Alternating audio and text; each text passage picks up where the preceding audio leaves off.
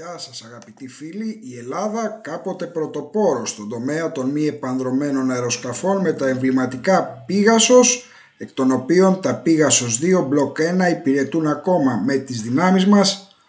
όμως είτε η οικονομική κρίση είτε η οικονομική κρίση ως πρόφαση άφησαν αυτό το τομέα ανεκμετάλλευτο, δεν προχώρησαν τα project, παρέμειναν εκεί στο Πίγασος. Αντιθέτως η Τουρκία δαπάνησε χρόνο, χρήμα, έρευνα και έτσι πήρε την πρωτοπορία στον υβριδικό αυτό τομέα χωρίς να σημαίνει ότι αυτός θα άλλαζε το αποτέλεσμα στα θέατρα των επιχειρήσεων εφόσον η Ελλάδα διαθέτει υπεροπλία σε όλους τους καθοριστικούς τομείς των στρατιωτικών επιχειρήσεων. Πάντως έχουμε δει την πρόθεση του ΤΑΙ Περτογάν να προχωρήσει και στην κατασκευή όχι μόνο μη επανδρομένων σκαφών μη επανδρομένων μονάδων επιφανείας USV Unmanned Surface Vehicles αλλά και υποβρυχίων, μη επανδρομένων υποβρυχίων γεγονός που θα έκανε τη χώρα μας να τρέχει να προλάβει τις εξελίξεις. Βλέπουμε τώρα την κρατική Ισραηλινή αεροδιαστημική βιομηχανία EI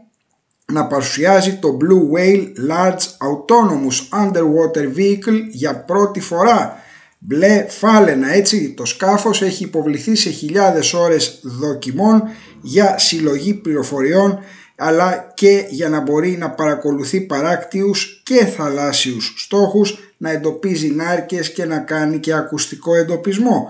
Αυτό δεν εμποδίζει την Ισραηλινή εταιρεία ή οποιονδήποτε άλλο κατασκευάζει μια επανδρομένα υποβρύχια να του βάλει από μια τορπίλη σε κάθε πλευρά και να το καταστήσει ικανό να πλήττει στόχους. Λοιπόν, σημαντική εξέλιξη μπορεί για αρκετές εβδομάδες να περιπολεί στη θάλασσα, να συλλέγει πληροφορίες και πάνω από την επιφάνεια να ανοιχνεύει άλλα υποβρύχια, να καταγράφει το ηχητικό αποτύπωμα στόχων και να αναζητεί νάρκες στο βυθό ελάχιστο το κόστος συντήρησης, περισκοπικός ιστός, ραντάρ και ηλεκτροοπτικά για την ανείχνευση παράκτιων όταν ανεβαίνει στην επιφάνεια αλλά και στόχων στο βάθος της θαλάσσης. Κεραία δορυφορικών επικοινωνιών στον ιστό μπορούν να μεταδοθούν real time σε πραγματικό χρόνο τα δεδομένα στις ένοπλες δυνάμεις της χώρας που το διαθέτει. Λοιπόν, σόναρ ρημουλκούμενο και σόναρ στα πλευρά της πλατφόρμας επί τους σκάφους και σειρώμενο δηλαδή. Σημαντική εξέλιξη, δεν πρέπει να ξεχνάμε ότι στη Σχολή Ευελπίδων υπάρχει τέτοιο project μη επανδρομένου υποβρυχίου αλλά και το γεγονός ότι η Ελλάδα, Βουλγαρία, Γαλλία, Ρουμανία συμμετέχουν στο ευρωπαϊκό πρόγραμμα PESCO για το Unmanned Surface Vehicle, USV, μη επανδρομένο σκάφος και το Autonomous Underwater Vehicle, το αυτόνομο υποβρύχιο όχημα για τον ενεργειακό και αμυντικό τομέα ιδιαίτερο σε περίπτωση που το βλέπω πάρα πολύ πιθανό να υλοποιηθεί ο αγωγός που λέω εγώ της ειρήνης, της ασφάλειας και της σταθερότητας EastMed. Το έργο της ΠΕΣΚΟ θέλει διαλειτουργικό εξειδικευμένο αρθρωτό σύστημα για αμυντικές υποβρύχες παρεμβάσεις πλήρους φάσματος στα θέατρα των επιχειρήσεων. Η μονάδα Dive Pack θα έχει ευρύ φάσμα υλικού καταδύσεων και μη επανδρομένων υποβρυχίων οχημάτων και θα είναι με εξουσιοδοτημένους και εξειδικευμένους χειριστές που θα τους χειρίζονται.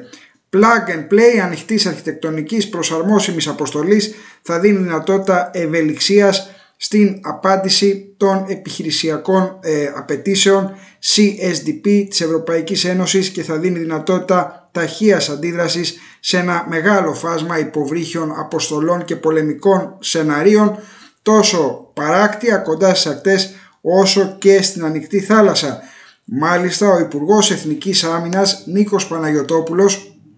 είχε πέρυσι απαντήσει σε ερωτήσεις στη Βουλή για διθέσια υποβρύχια σε αποστολές ειδικών δυνάμεων και τουρκικά μη επανδρομένα σκάφη με αντιπλοϊκούς πυράβλους. Τα είχε πει πέρυσι τέτοια εποχή περίπου ότι το Υπουργείο Εθνικής Άμυνας παρακολουθεί τη διεθνή και εγχώρια αγορά αναφορικά με τα υποβρύχια οχήματα των ειδικών δυνάμεων αντίστοιχων δυνατοτήτων και τα μη επανδρομένα σκάφη επιφανείας USV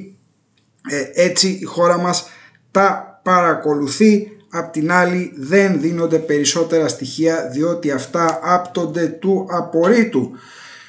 Πάντως είναι μονόδρομος η Ελλάδα που έχει τις τεχνολογικές δυνατότητες και τις οικονομικές αυτή τη στιγμή πρέπει να προχωρήσει άμεσα στην κατασκευή ελληνικών μη επανδρομένων οπλισμένων υποβρυχίων σε μεγάλους αριθμούς για την άμυνα του Αιγαίου όπως πολλές φορές έχω υποστηρίξει από αυτή την εκπομπή. Έτσι θα προλάβουμε τις εξελίξεις και δεν θα τρέχουμε μετά να προλάβουμε την Άγκυρα. Η Ελλάδα σε μαχητικά, σε μονάδες επιφανείας, σε υποβρύχια, σε άρματα μάχης, σε επιθετικά ελικόπτερα, σε πυράβλους, αέρος εδάφους, αέρος, αέρος, αέρος επιφανείας και αέρος, ε, αέρος πέραν του οπτικού πεδίου, σε όλα τα κύρια οπλικά συστήματα υπερτερεί της δυνάμεως που κατέχει το βόρειο τμήμα της Κύπρου και επιμένει να μην δίνει αυτονομία στην Ήβρο και την Τένεδο σύμφωνα με τη συνθήκη της Λοζάνης. Απ' την άλλη η Τουρκία έχοντας ανάγει τα μη επανδρομένα αεροσκάφη οπλισμένα και μη σε πανάκια για πάσαν νόσων και πάσαν ε, για, τα, για τις πολεμικές συγκρούσεις τα κατασκευάζει σε μεγάλους αριθμούς για ξηρά, ε, θάλασσα, αέρα και βυθό. Έτσι η Ελλάδα πρέπει να απαντήσει στον υβριδικό αυτό τομέα διότι τον αντιπαραθέτης επανδρομένα συστήματα αέρος, θαλάσσης ή ξηράς είναι πολύ πιο ακριβά, έχει το διακύβευμα της ανθρώπινης ζωής και έτσι σε κερδίζει ο αντίπαλος στο ε, οικονομικό σκέλος της σύγκρουσης που ο ίδιος έχει επιλέξει και ο ίδιος έχει επιβάλει στη χώρα μας υβριδικά πάντα διότι πόλεμο δεν είναι σε θέση να κάνει εναντίον των ελληνικών ενόπλων δυνάμεων. Αυτά προς το παρόν, αν σας άρεσε η εκπομπή μην ξεχνάτε να κάνετε like και εγγραφή στο κανάλι σας. Καλό υπόλοιπο σε όλους.